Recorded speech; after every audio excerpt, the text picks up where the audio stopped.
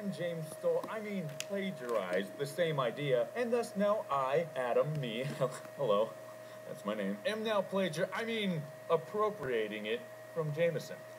It's a tradition passed down for generations, and thus, one day, my dear Padawads, Padawads, someone will appropriate, I mean, rip off the idea from me.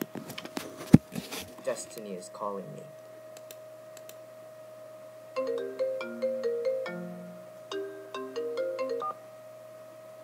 Hey, Destiny.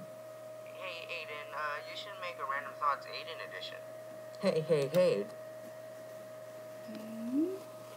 Hey, um, hey, um, well, anyway, there's this chain going around. I don't know if you knew.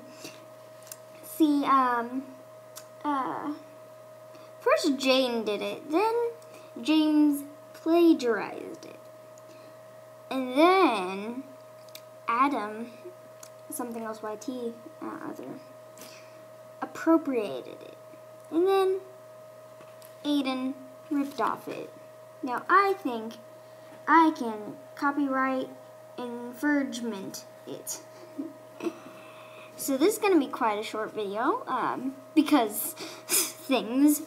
So one time I was out in the cold, freezing my butt off like a loser.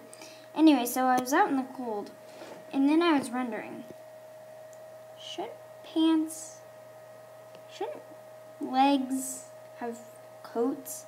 I mean, our our our bodies, like our torso, has coats, so why not?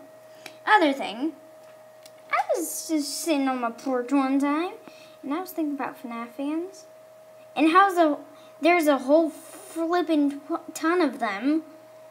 Yeah, like half of our world is dedicated to FNAF fans. So, yeah, those were my random thoughts. I know it's not a lot, but hey. Someone will take this off for me, and maybe, just maybe.